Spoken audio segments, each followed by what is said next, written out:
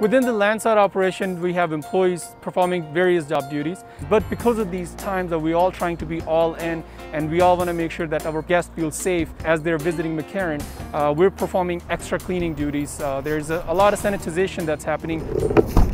At the same time, we also do roadways to make sure that our roadways are looking beautiful and clean. It makes me feel great, you know, knowing that I'm here and able to help the passengers and it's a reflection of us, so we definitely want them coming back. Well, today I'm painting the lines, which will help the, the lines be more visible to taxi. Everything will look nice and clean, along with our normal duties of customer service. Just trying to put the care in McCarran. Put that at any gate and you'll be ready to go. And here's your receipt. You're welcome.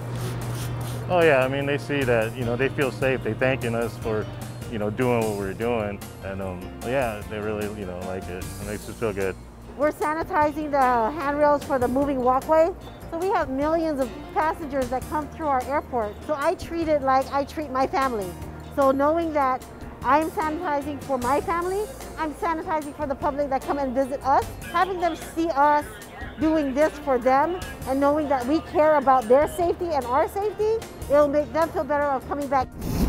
Our customers are the most important ones of all. If, without customers, we have no job. So we have to make sure that they're well taken care of.